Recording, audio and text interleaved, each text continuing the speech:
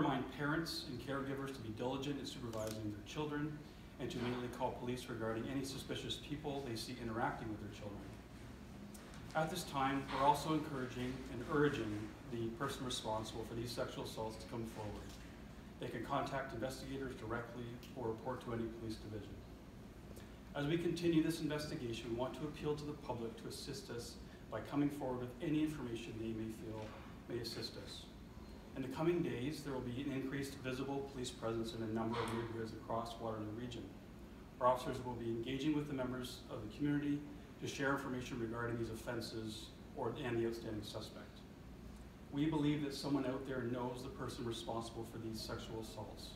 We hope that people will come forward to provide whatever information they may have to assist our investigators. This can be accomplished through contacting police or by leaving an anonymous tip through Crime Stoppers. Police can be contacted directly at 519-570-9777, extension 8666. Anonymous tips can be provided through Crime Stoppers at 1-800-222-8477 or online at waterloocrimestoppers.com. Thank you. I'll now open up to any questions